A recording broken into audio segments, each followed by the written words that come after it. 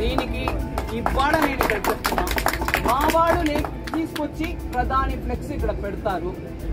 You will as the district administrator ensure that that shall not be remove that shall not be torn that shall not be affected ప్రజలకి మొత్తం ఫ్రీగా ఇచ్చి వారు ఒక photo పెట్టండి అంటే అభ్యంతరం ఎవరికండి?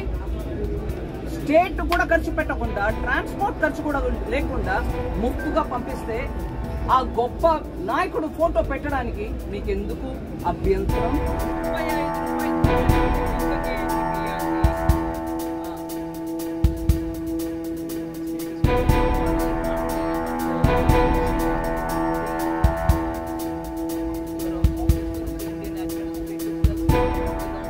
ముప్పై ఐదు రూపాయికి ఉన్నటువంటి ఒక్క కేజీ బియ్యాన్ని నువ్వు ఎంతమ్మా ఇస్తున్నావు?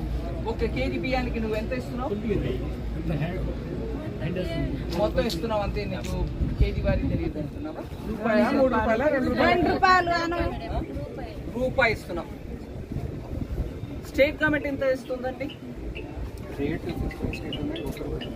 స్టేట్ గవర్నమెంట్ ఒక్క రూపాయి స్టేట్ గవర్నమెంట్ తన వంతు ఇస్తుందా? మీ ఏ hold on ya she he knows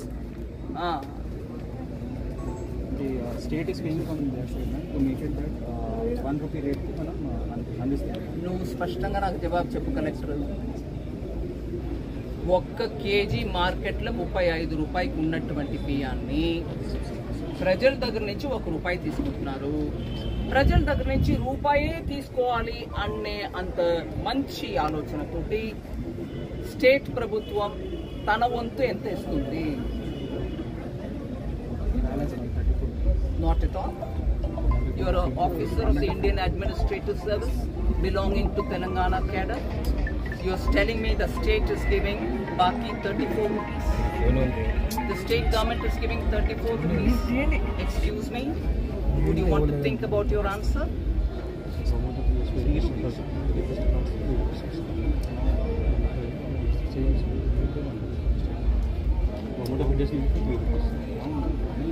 State government of India సరే.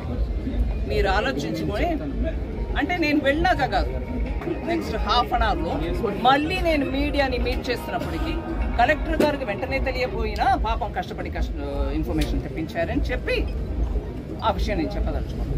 నేను ఉజ్జాయింపుగా చెప్తాను. మోటా మోటాగా చెప్తున్నాను. కలెక్టర్ గారి తర్వాత నాకు కలెక్ట్ కరెక్ట్ చేయనండి. కేంద్ర ప్రభుత్వం దగ్గర దగ్గర ముప్పై రూపాయలు ఇస్తుంది. ఇరవై ఎనిమిది అనుకోండి. ఓకే? దానిపైన ప్రజలు ఒక రూపాయి ఇస్తున్నారు. ఇరవై ఎనిమిది ప్లస్ ఒకటి ఇరవై తొమ్మిది. దాని తర్వాత మిగిలినది ఎంతండి? నాలుగు రూపాయలు అనుకుందాం కదా? ముప్పై ప్లస్ నాలుగు. ముప్పై ప్లస్ ఐదునే పెట్టుకో. రాష్ట్ర ప్రభుత్వం ఐదు రూపాయలు నేను ఉజ్జాయింపుగా చెప్తున్నాను రాష్ట్ర ప్రభుత్వం ఐదు రూపాయలు ప్రజలు ఒక్క రూపాయి మిగిలిన ఇరవై ఎనిమిది రూపాయలు కేంద్ర ప్రభుత్వం మోదీ సర్కార్ ఇస్తుంది. ఇది ఒకటైందా move on to the next one please tell ఇప్పుడే చెప్తున్నారట మంచిది. మేడం చెప్పినా కరెక్ట్ సార్ చెప్తున్నారు. తప్పే. తప్పు మార్కెట్ ప్రైస్ ఏదైనా ఉందో దానికి పర్చేస్ చేసుకొని మనకి త్రీ రూపీస్కి గవర్నమెంట్ ఆఫ్ ఇండియా ఇస్తుంది so suppose thirty five rupees ఉంటే thirty two rupees pay pay చేస్తూ త్రీ రూపీస్కి గవర్నమెంట్ ఆఫ్ ఇండియా ఇస్తుంది టూ రూపీస్ ఇక్కడ స్టేట్ గవర్నమెంట్ నుంచి ఇచ్చి వన్ రూపీకి మనం ఇస్తుంది అదే నేను ఇక్కడ చెప్పాను మీకు. ఈయన చెప్పింది ఇನ್ನು స్పష్టంగా.